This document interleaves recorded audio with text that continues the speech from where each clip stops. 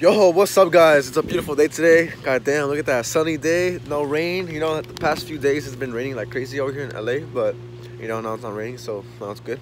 Anyways, but yeah, so I'm on my way to FitNation today with my homies, um, CMR and John. About to hit chest today, so take you guys to my workout, chest day today. Let's go, let's get it, and yeah, stay tuned. Let's go. I grab 20 bands and I take it to Follies. Uh, Caught the bitch checking my phone and I don't even care. I'm like, fuck it, she call me. Uh, bitch wanna argue with me, but I said it one time, sorry, auto say sorry. Yeah, I got a bitch in New York, we just fucking, we fight, and she chillin'.